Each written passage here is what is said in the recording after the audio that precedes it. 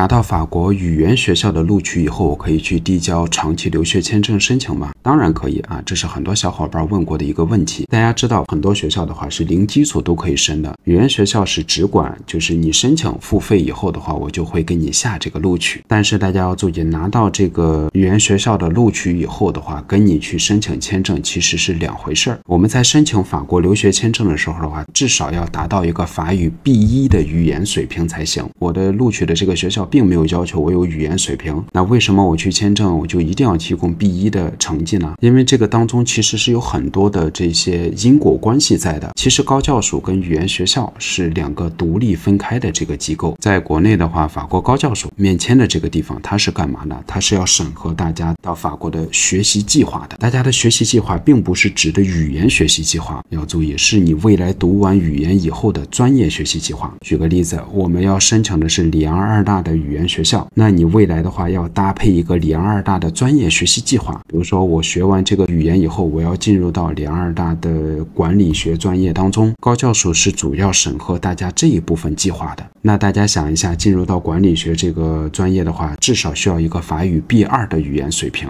如果你在国内没有达到 B 一的语言水平的话，你如何证明一年的学习你就能考到法语的 B 二语言水平了呢？所以这种情况下，在面签阶段的话，就会直接被退回来材料，就是需要你提交法语成绩，至少要是一个 B 一才有可能过签。这个语言水平的话，一定要跟你未来进入专业课要匹配。比如说你的专业课要求的是 C 一，那你至少要提交一个 B 一加的语言水平，才能证明你能在一年之内达到学校的入学计划、入学要求。如果是一些商科类的专业课要求的是 B 二，你考到 B 一，经过一年的学习就可以考到 B 二。所以大家注意，拿到语言学校的录取以后啊，大家零基础的话，千万不要开始申请，一定要把语言达到 B 一之后，我们再去申请。好了，这就是最近一些小伙伴问过的问题，因为马上就要入学了，现在语言还没有考，那就会非常耽误大家的时间，很有可能这个录取就要作废了。好了，我是马克老师，Merci。